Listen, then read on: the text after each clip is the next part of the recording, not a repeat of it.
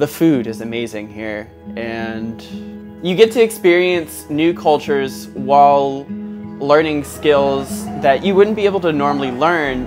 We're going to learn about um, Italian culture and more about music composition. We're going to be going to a concert almost every night, sometimes two in one night. We're also attending master classes throughout the course of the week that touch on aural skills, music theory, music history. First, it's like very different. Like since I'm already international student, it is like another world and it's definitely worth it because it's like real life experience.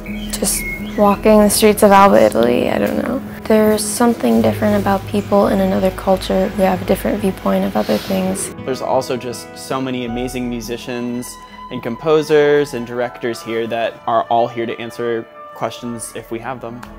You really learn a lot and as someone who's really shy, it was um, nice to step out of my comfort zone. And your education gets expanded so much more. Like not just sitting in the classroom and get to know through textbooks or like online, but to really actually encounter an experience. Yeah.